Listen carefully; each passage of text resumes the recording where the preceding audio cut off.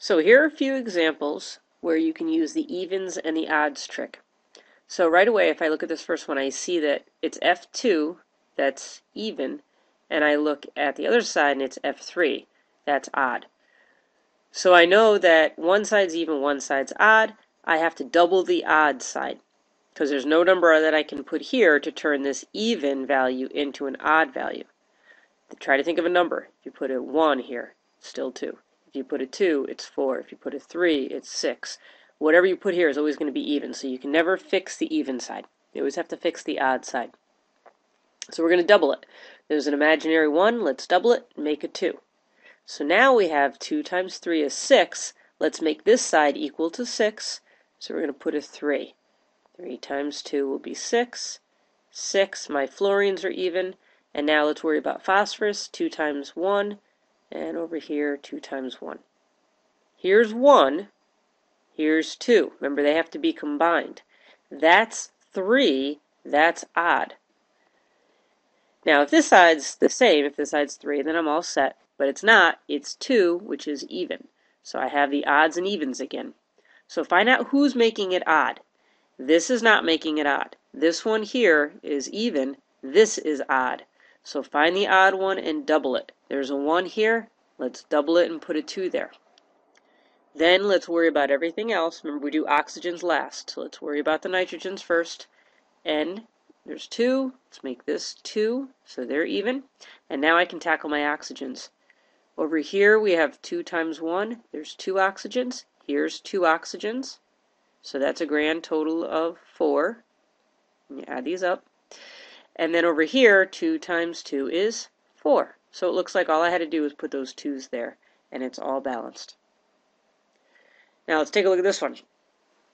This is the beauty of balancing equations. Sometimes it's just trial and error, or sometimes the numbers that you put down that you think you're doing correctly turn out to be incorrect, but you can't figure that out until later on in the solution. So don't think you're doing something wrong. It just happens to work out that way sometimes. Now, I told you earlier use oxygen or do oxygens last. So let's start with carbons. There's two here. Let's put a two here. There's six hydrogens. So let's put a three here because three times two is six. Now let's tackle our oxygens. This is going to be even. No matter what we put in front, it's always going to be multiplied by 2, and it's going to be even. Over here, 2 times 2 is 4. That's even. That's good. But over here, 3 times 1 is 3. 4 plus 3 is 7. That's odd. So I have a problem here because there's nothing I can put here, no whole numbers that I can put here multiplied by 2, double basically, and get a 7. So we have to go back to this 3 and double it. So that 3 is not going to be correct. So let's get rid of it and let's change it to a 6. And as you can imagine, that's going to affect other things. That 6 not only affects your oxygen, but it also impacts your hydrogen. So now we have 6 times 2. That's 12 hydrogens.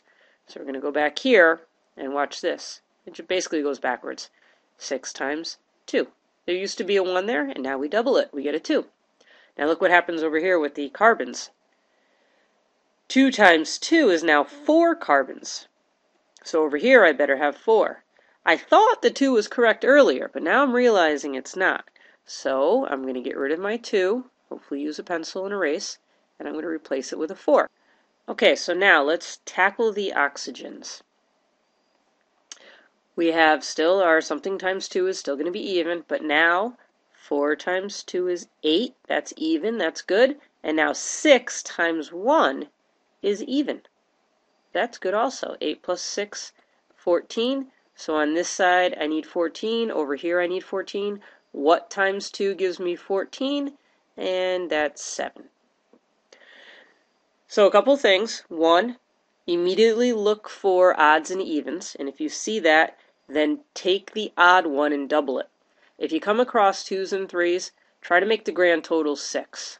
Always think 6. So if you see a 3 here, put a 2 there. 2 times 3. If you see a 2 down here as a subscript, put a 3 in front. Other times, it might not be as glaringly obvious. You might realize that you have to add these together, and when you add them together, it turns out to be an odd value. Figure out which one is making it odd and double that. And finally, don't feel bad if you plug numbers in and then realize after the fact you have to go back and double your odd ones.